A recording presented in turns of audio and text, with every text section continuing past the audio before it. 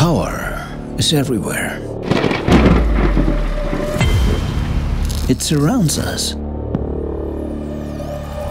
keeps us thinking, makes us understand things, provides new ideas. Joy, great moments, and that special tingling.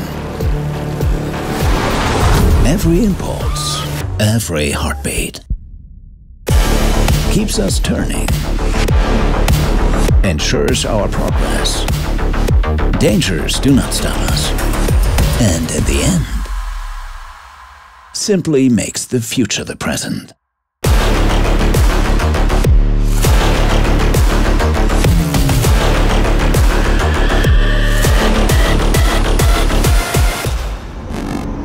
Come with us into the new era.